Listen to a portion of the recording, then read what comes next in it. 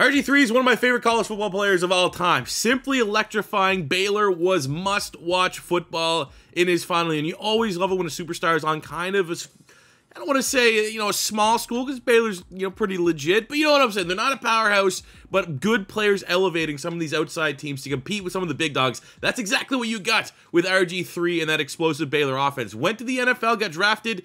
We got the Commanders mod on right now. So to get in rhythm for Madden 23. We're going to refer to them as the Commanders, even though at this point in time they were very much the Redskins. But the Washington Commanders drafted RG3. He started absolutely phenomenally as a rookie, and then they completely botched it. They dropped the ball. The development wasn't there. The biggest issue maybe was the injuries. The handling of his injuries, not giving him proper rest, rushing him back to the starting lineup. The desperation might have ruined the career of RG3. Now, as a Philadelphia Eagle fan, the idea of RG3 being very good is kind of terrifying because he'd probably still be in the league today.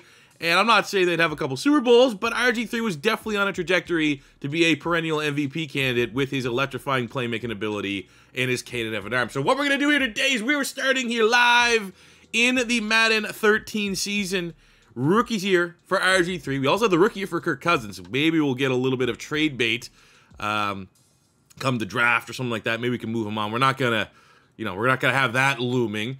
But what if, like, the perfect scenario is kind of lined up here for Washington? Instead of old man Mike Shanahan that completely ruined RG3, what if he's like, you know what, I'm going to step down. My son is ready to be my successor, Kyle Shanahanian, up there. And we're going to rock and roll with him. I mean, you could even go McVay. Sean McVay was on that roster as well, but I just think because of the Shanahan family name, I could see him stepping down and promoting his son. So that is what we're going to do with, for the base ratings, we have the Madden 13 ratings for the Commanders here. As you can see, offensively, um, man, Roy Helu was a beast in Madden. I never, I always knew he was kind of solid, but like at 5'10", 200 pounds, built like a little bit like a power back, coming in with 93 speed, 96 acceleration. When I saw that, I was like, okay, might be something there. We got Pierre Garcon as our top wide receiver. Uh, Fred Davis, Chris Cooley on the offensive line, led by superstar Trent Williams. Absolute monster, but still plenty of work that needs to be done to build around this offense for RG3. Get Alfred Morris in his rookie season but obviously he has a way to go in terms of his growth and development. So definitely helping out RG3 on offense is going to be a top priority for this rebuild. Defensively, pretty good. We got Ryan Kerrigan, Brian Orakpo, London Fletcher, the great London Fletcher. He's 37. This is most likely going to be his final year, but what a beast he was. One of the most underrated linebackers of all time. We got DeAngelo Hall in the secondary, but there's still plenty that needs to be rebuilt here on the defensive side of the ball. But it is good that we have this man under center because he's going to be able to take this team to heights that we could never once think of achieving. And all we have to do is just draft pretty well and fill in the spots around him. And I think we are going to be able to achieve a Super Bowl over. We're going to go to current day. So that is nine seasons, nine years. We're going to at least get one Super Bowl. We're going to get a couple MVPs with RG3. And today's video is what if RG3. I don't even know what we can call this. This might even just be like a career rebuild video. The career rebuild of RG3 slash what if the Commanders, Washington, did not ruin this dude's career. So year one for RG3 and Washington, we won the NFC East, went 11 and 6. We did make the playoffs, but unfortunately the moment was too big. And in the opening round, we lost to the Legion of Boom Seattle Seahawks. 31-28 uh, in this matchup. Russell Wilson was clean. RG3 was prolific, but not clean. 360 and 3 is phenomenal. Two interceptions is showing you know, lot to learn, rookie hiccups, whatever you want to call it. But I think RG3A, I'm not gonna say he's gonna be MVP. I, I would, I'd be shocked if he's not in the MVP finals. I've seen a couple uh, weekly awards where he had massive games. Look at that, receiving leaders. Pierre, okay, first of all, passing. Get Jamarcus Russell just crushing it. But go to receiving leaders, Pierre Garcon had 16, almost 1,700 yards, only seven touchdowns. Uh, I think Josh Wilson's actually on our team, five picks. Uh, leading, or at least tied for first in interceptions. But looking at RG3, okay, maybe not too hot. 4,600 yards, 30 touchdowns for. We are using Shanahan everything, so you might have some decent scrambling numbers. They're, they're you know, a middle of the park. But uh, as, as far as a passing offense, eh, you know, it's not a bad start. RG3, 4 and 6 as a rusher. I'll take that. 15 touchdowns for the rookie Alfred Morris, just vulturing. We got 1,000 yards, Roy Helu. Massive year for Pierre Garcon, over 1,000 yards for Fred Davis. Uh, we got 900 yards there. Josh Morgan on the defensive side. Perry Riley led the team with 123 tackles, 100 for the veteran London Fletcher, 18 and a half sacks on 16 TFLs for Orakpo. Definitely want to see a little bit more production out of Ryan Kerrigan, however. And Josh Wilson with his five picks, tied for first in the league. So we had some pretty good performance here in year one for Washington. MVP went to Matt Ryan, RG3 as a rookie, top five in the MVP voting race. So that is actually really, really good, all things considered. He's number five in the Offensive Player of the Year vote. Uh, for individual awards, RG3 is the Offensive Rookie of the Year, beating out Russell Wilson and the Seattle Seahawks. On the rest of the awards, I don't think we'll probably have too much. No, runner up there, Josh Wilson. But either way, outstanding start for RG3, and I definitely think we got something here. So with free agent being so bad and we needed to make big jumps, you got to rip the band-aid off with Kirk Cousins. He's a 74 star dev going into his second year. He's better than probably any quarterback that any team would get beyond like the top 10 pick. So we're able, literally, I just went through all the teams that had a great interest in Kirk Cousins. And I, uh, you know, I tried getting pick 7, pick 10, pick 14. No one was biting, but we were able to get pick 20 from the Houston Texans, sending them Kirk Cousins and our second and fourth round picks this year to get pick 20. So we now have two top 20 picks. Let's make sure we can get some hits here. Looking for wide receivers. We're looking for offensive linemen. We're looking for linebackers. We're looking for DBs. Any and all. Welcome to Washington. So first up at pick 20, we need that premier wide receiver. We have DeAndre Hopkins, a man who uh, probably one of my favorite Washington clips of all time is DeAndre Hopkins for the Texans going up against DeAngelo Hall during practice in the, you know, just training camp. If you haven't seen it, it's one of the greatest videos I've ever seen. Now they get to do it every single day in practice. So after the DeAndre Hopkins pick, look at where we need. Travis Frederick's on the board, but I don't really need a center right now, even though he's best player available. Could use guard. Um, defensively, outside linebacker could use really either safety, free or strong. And, you know, you get younger at D tackle and corner. I know Darius Slay's still on the board. I don't know if I want to go back to back. Super cheesy pick here. Uh, but the big upgrades. What do we got at outside linebacker? Boston. I mean, there's no real first rounders here. You got Alec Ogletree. Manti Te'o. I'm sure Manti Te'o does have a dev trait, but you know what? To keep things simple, let's uh, let's get Ogletree. Should pull a dev. Oh wow, that's not a good pick. So looking at our draft recap, I will say silver lining. Okay, we got DeAndre Hopkins, it's a mega pick. Uh, silver lining is if you got a normal dev rookie, you want them to either be a linebacker or a safety because those are the two players that tend to go up dev trade fairly easy. So 69, and if we can get him up dev trade after one year, 69 star dev, he'll probably be 73, 74 next season as a 22 star dev linebacker. That's going to be pretty well uh, for his development. So we just need to hope he gets his dev. Happy we got DeAndre Hopkins. Uh, we got Banks, Akata Pano, and Marcus Cooper to kind of finish out the draft here. But it would have been nice to get two players that uh, had dev trade throughout the gate. Hopefully, Andre Hopkins pulls superstar, maybe even an X factor to kind of lessen the blow there a little bit, and we get that dev for Al Ogletree here in his rookie season. Kind of cool side story here, not related to RG3, that Perry Riley, our starting middle linebacker, has gone up to a superstar dev. It's pretty cool. Year two, uh, a little bit backwards for some reason. 7 and 10, and our passing numbers fell off a cliff. Um, don't know why. I mean, still not a bad year. I mean, our numbers were bad, but RG3 as a team was bad. But RG3, that's not bad. 4,000 yards, 32 touchdowns, under 10 picks. We got, you know, had the same amount of rushing yards. None of the rushing touchdowns, unfortunately. Uh, still a decent one-two punch there. Helu and Alfred Morris. 1,000 yards, Fred Jet, uh, Fred Davis. 1,000 yards, Pierre Garcon. DeAndre Hopkins, 9 and 7, and he did pop with the X factor. So that kind of makes up for uh, you know, Ogletree and not getting a dev trade on both of those first round picks because we really need to hit. Come on, we traded Kirk Cousins. That was a pretty big trade. Uh, Perry Riley went up superstar, had a huge year, 136 tackles there. We had 15 sacks at Orakpo, 10 from Ryan Kerrigan, four picks. Josh Wilson leading the team very quickly. Looking at the award winners, Arian Foster is the MVP. And unfortunately, no one outside of Graham Gano, who got kicker of the year.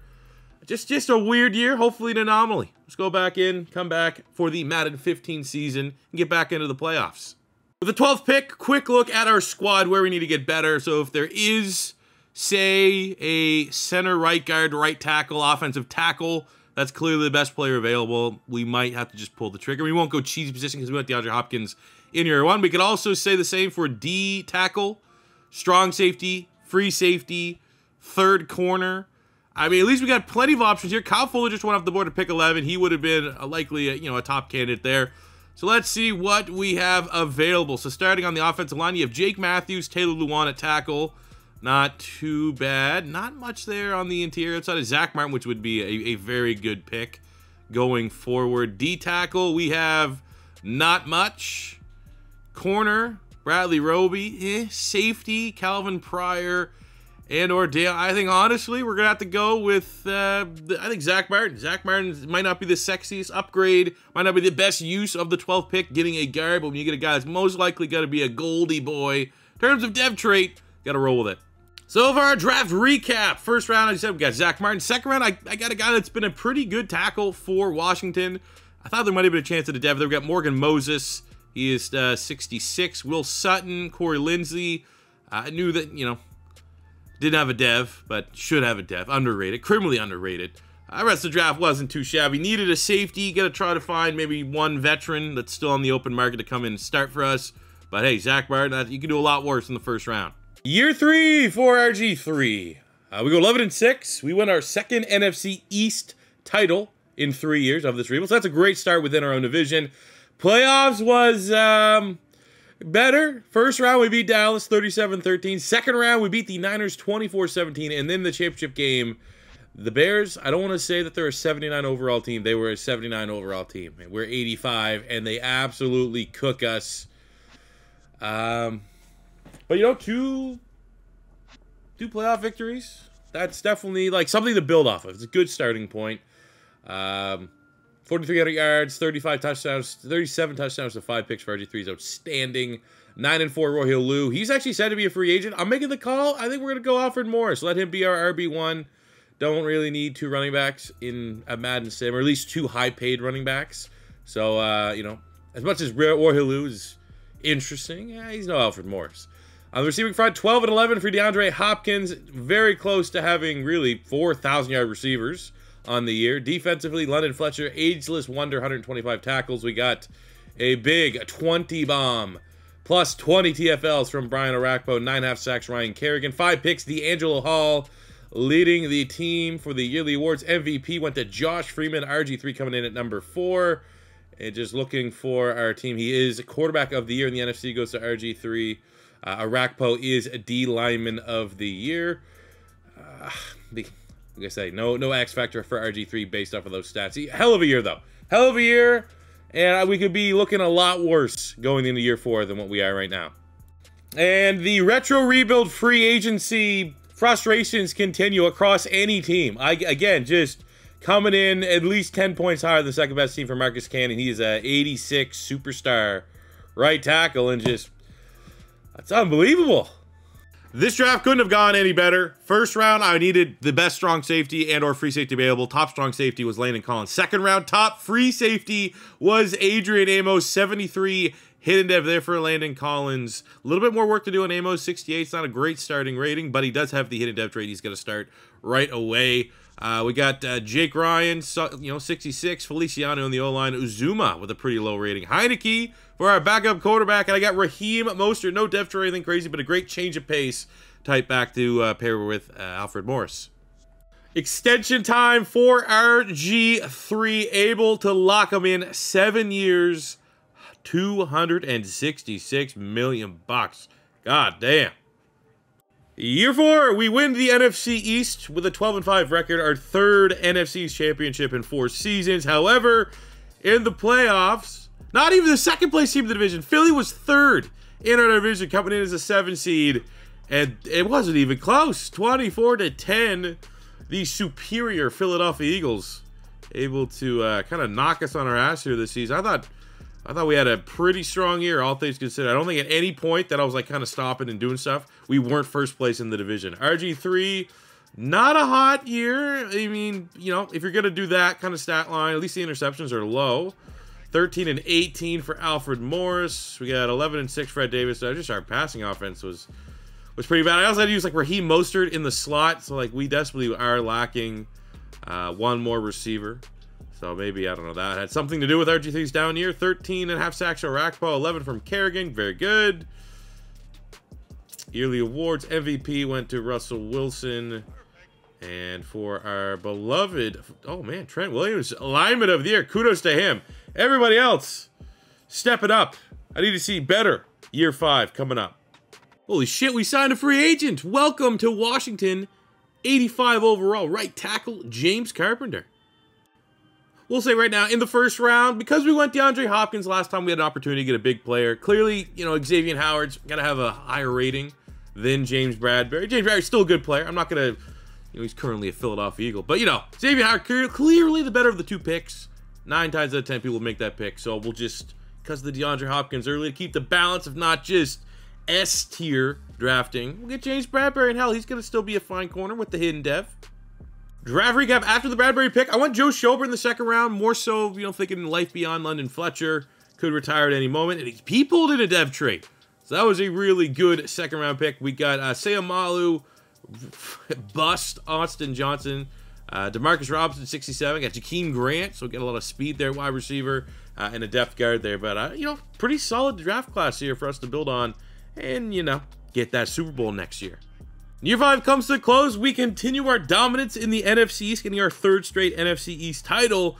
But unfortunately, man, the playoff success outside of that third season, our Madden 15 year, um, you know, we're now here in Madden 17, and you know, we're one and done. Like, you know, we we've been struggling. This is not where a team of this quality, you know, should be stuttering. You know, we should be able to go deeper. I mean, look at the team we got right now. We got RG3's 99, Robert Morris 85, 97 X Factor for Hopkins. You got Pierre Garcon, Fred Davis, Carpenter, Zack Martin, Trent Williams, you know, the, the O line's not complete, but overall, still a very good offensive line. Defensively, you got Kerrigan, we got Orakpo. London Fletcher's like 50 years old, still playing at a high level. 42, that's like the oldest player I've seen. Perry Riley, 92. We got Landon Collins, Amos, Hall, Bradberry. Cooper just went up a freaking dev trade. You know, too good to be one and done as frequently as we have been.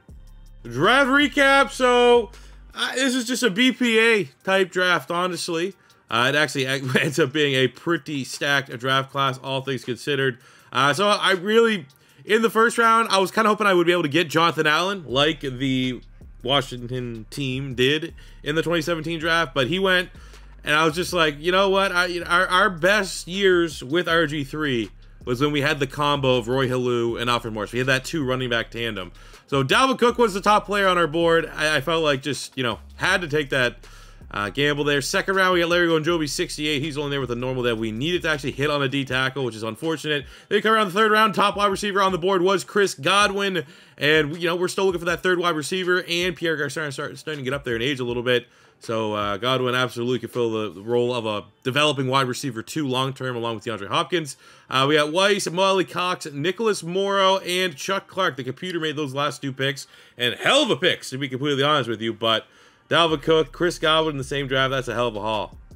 And as year six comes to a close, six of nine total that we are going. We won another NFC East title. 98 had the tiebreaker over the Dallas Cowboys. Went to the playoffs. Got a victory before our momentum was abruptly halted against the Rams, unfortunately. But at least we got a little bit of momentum. Wasn't one and done. You know, we're getting there. I, I think we, we stack another good draft or two. That will be enough to put this team. I, I'm, I'm confident. We only got, what, three years left after this? We're going to get a Super Bowl. RG3, huge, 4,400 yards, 36 touchdowns. We have uh, 11 and 15 there from Alfred Morris. Just not getting anything to Dalvin Cook, but that's only a matter of time. What's his dev? See his dev is the X Factor? No, it wouldn't show. It's not even a superstar? Okay, he is. All right. Um, 3,000 yard receivers. Garcon, DeAndre Hopkins, and the rookie Chris Godwin. Defensively, Riley, pretty good. A lot of tackles, bunch of TFLs. Kerrigan, Orakpo, terrific one-two punch as pass rush specialist. But, you know, one playoff win's not good. We need three, maybe even four. At least we're at a point in the rebuild now where we can actually sign free agents. We get a massive get here at D tackle, getting Marcell Dareus on a four-year deal, 91 superstar. Then DJ Fluker at right tackle will kick him actually over into guard, which is where he predominantly played in the NFL, and he's an 82 superstar. Two massive gets, one on offense, one on defense. Now let's go crush the draft. Take a look at the draft. Now, this is the draft that the ratings are going to change just a little bit because everything's just kind of off by one, but we'll fix it. Got Donte Jackson. He's going to be our slot corner. Uh, so again, the rating could shift actually kind of considerably for some of these guys. So more so just look, we get the hidden dev in Donte Jackson. Had to in the second round. Mark Andrews was the top tight end available. And uh, Fred Davis is regressing pretty bad, like two, three points every offseason now. So we had to think about a new tight end, and that was just absolutely perfect scenario. Uh, Will Richardson, Kyzir White, Jamarco Jones, Keke Coutee, and Luke Falk finish out the draft. But Jackson and Andrews, two outstanding gets for the Commanders. Year seven, we get a tie. So that means things went well, clearly. If you get a tie, that means things are going incredibly well. We made the playoffs. First round, we were able to beat Cam Newton, the Carolina Panthers. And then, unfortunately, a slim loss to the uh, Green Bay Packers in the divisional round. So I'm starting to worry. RG3, great quarterback. Great career redemption to this point from a statistical standpoint. But I don't know if he's I don't know if he got it to uh to win the big one. We got two years left. I mean, this was a great year. He's not he, really outside of one year, I think. He's kind of been steadily one of the top quarterbacks in the NFL. Uh, Dalvin Cook took a big step up this year. London Fletcher, 21 years in the league, still a tackle machine. 13 sacks, Kerrigan, 12 from Orakpo, three picks, James Bradberry. But time's running out, man. We got two years. And I know that the rebuilds tend to get pretty good when it's an all or nothing scenario, but we're I mean we're due for an absolute stinker where we just can't do anything in terms of winning the Super Bowl.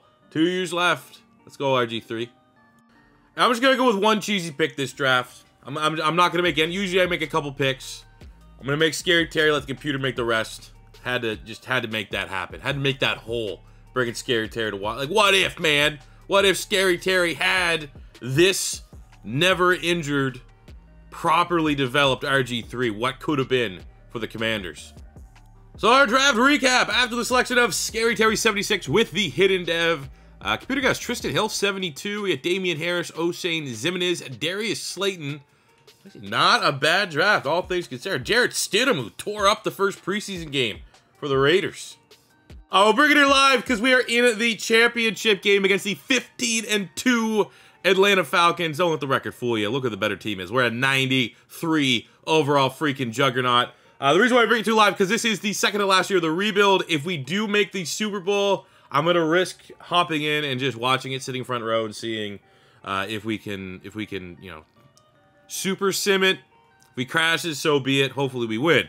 Uh, RG3 was actually okay, only okay this year. Uh, our run game was on point. DeAndre Hopkins over a thousand receiving yards defensively. How is London Fletcher still doing this? 21 and a half sacks Ryan Kerrigan, 13 for Marcell Dareus. 12 and a half for Brian Orakpo. London Fletcher, who is 44? Just, I mean, give him the MVP, honestly. Like all things considered. Uh, Ryan Kerrigan is Defensive Player of the Year, which is pretty cool, as well as D Lineman of the Year. But all that matters is can we beat a team that's actually very close to Kyle, uh, Kyle Shanahan, the Atlanta Falcons, and make the Super Bowl. I mean, if it's not, it's not the end of the world. It's a one-score game. Now everything just kind of falls on. Uh, let, let, me also see, just because he might retire here, how old London Fletcher is. That's what I care about more about this loss. That's how we're gonna cope with this loss. Let's just look how old this guy is. You know, ageism on full display. But I mean, now this is setting itself up for you know Super Bowl or bust time. One more year for Come on, one more year, London. Come back for 46. For the final draft of the rebuild. Holy, what happened? I made the first pick. I got Ruiz because I needed a new center. And I'll just slide him in the center. Hidden dev, 69 overall. And then I just simmed it out. We got Josiah DeGuara, Stanley Thomas Oliver. Fourth round, we got Brandon Aiyuk somehow. Fifth round, we got Michael Onwenu, which is, uh, you know, that's, you know, a fair pick. He went mid-round anyway. 74 with that hidden dev. Good God, what's Aiyuk doing in the fourth round? I mean, he's not going to make him that much. I don't even think he's going to play. Be a wide receiver four, but that's a, that's a weird draft happening. So here we go. This is the final chance for this rebuild. O-line outstanding. Got Mark Andrews, 79. We got Godwin, 85 star. Scary Terry, 99 X Factor Hopkins. Dalvin Cook up to a 91. Defensively, I mean, everyone got a dev here on the D line. 99 Kerrigan, 97 Orakpo, 40 Five-year-old London Fletcher still doing the damn thing. Old man got it. Perry Riley's developed nicely. Landon Collins is a 94. Amos 87. Secondary's not S tier, at least in terms of corners, but like the corners and safeties combined look pretty good. And obviously the man of the hour under center, 99 overall, RG3. He's 30 now. That's that old man veteran, whatever, je ne sais quoi. He needs to have that now. He's, he's gone from being the electrifying playmaker trying to win MVPs. Now it is time to be a veteran. Guide your team to postseason success it is the final year of the rebuild. It is our final opportunity to try to win a Super Bowl. Let's go. And we didn't. We didn't.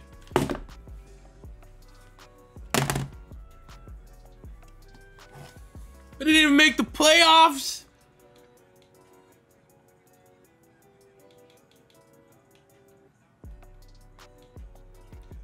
You know, we've been um, we've been very lucky I think, in the retro rebuilds. Generally speaking, they've almost all had happy endings. But maybe a team, eh, you know, I wouldn't put it past the fact that, like, this game probably just like, hey, you know what? Commanders can't win. As long as Dan Snyder's an owner, there's something in the Madden algorithm that's like, you know what? This team here, just quite simply, we're never going to let them win. We're going to punish any fan of this team by them never being able to straight sim win anything in this freaking game. Because this team's S tier. This team is, without a shadow of a doubt, I think at this point, what are we, 92? 93. This is the best team in the NFL. Best team in the NFL. And then for some reason, 21 ranked passing yards per game, 23 ranked defense, even though our defense is a 90. Only thing that makes sense is, uh, you know, they're just, there's something uh, under the hood here. That's just the commanders, whatever you want to call them, are just, they're never going to amount to anything. So we got nine years in with RG3. I think all, I mean, from the, from the standpoint of rebuilding, reviving the career of RG3. Mission accomplished. Through nine seasons, 38,000 passing yards, 283 passing touchdowns, 75 picks. Also got 2K on the ground, 14 touchdowns, and that's that's very good considering how bad scrambling quarterbacks are in the sim. If you're not using one of the two playbooks that actually have you know consistent numbers in uh, Arizona and the uh, Baltimore Ravens. I think all said done, I mean that's a that's a pace there. If RG3 plays another five, six years, you know, Hall of Fame numbers, man. Like the pace has been set, it's been established. Obviously, having injuries off in the case of RG3 is very important. There's an asterisk next to it. But uh, I had fun. This is something I want to do. I have a couple things, couple video ideas left on the checklist here. We probably have, you know, a week left of Madden 22 content, give or take. And, and there is a couple videos I definitely want to get into, and this was one that I that I wanted to get done. So I hope you guys did enjoy this. Uh, and I don't know what's going to be next. Might be the Philadelphia Eagles retro rebuild. I might get that one out of the way, and then we can kind of, I don't know, do something else until uh, Madden 23 drops. When's it come? The 20th or something like that. But uh, I, again, to wrap this one up, I very much appreciate you guys' love and support on this content, the retro content that we did to kind of close out the Madden 22 season. Uh, it's been absolutely awesome. So thank you guys very much. As always, your first time stopping by, don't forget to hit that subscribe button, smash the like button if you enjoyed, and comment what team? If you want to squeeze in one more team that's not the Eagles for the retro rebuild, make your voices known in the comment section below. It's not only great for the YouTube algorithm and help my channel out, lets me know, gives me guys valuable feedback. So, uh, that's it. Worst outro of all time. Peace out. I love you.